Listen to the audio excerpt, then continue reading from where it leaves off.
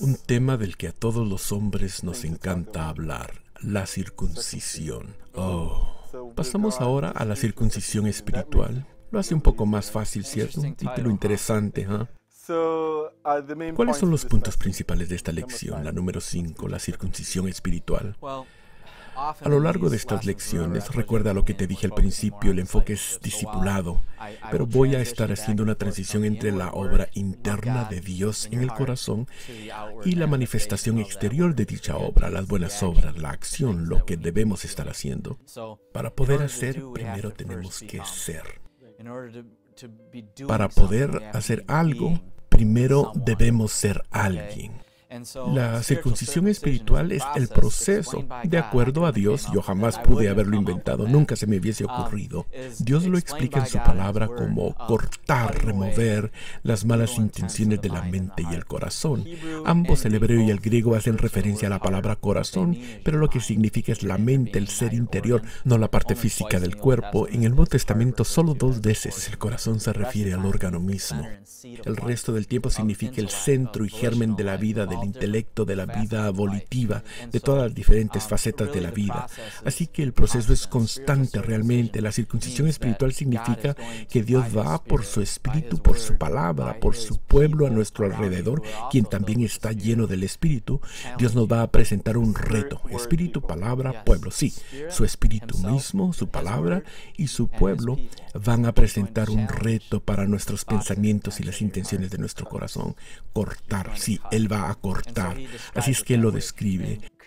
Y en Colosenses capítulo 2 y en Romanos capítulo 2 última parte, Él habla de lo que es la circuncisión y lo que aprendemos es que en el Antiguo Testamento la circuncisión física fue una vez y nada más y representaba un pacto.